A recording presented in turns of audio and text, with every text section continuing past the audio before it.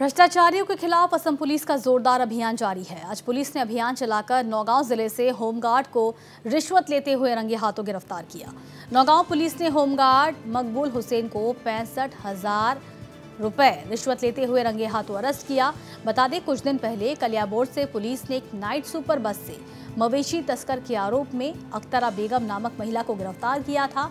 अख्तरा बेगम के पति जमालुद्दीन ने उसे छोड़ने के लिए होमगार्ड हुसैन को रिश्वत दी थी जिसके बाद पुलिस ने हुसैन को रंगे हाथों अरेस्ट कर लिया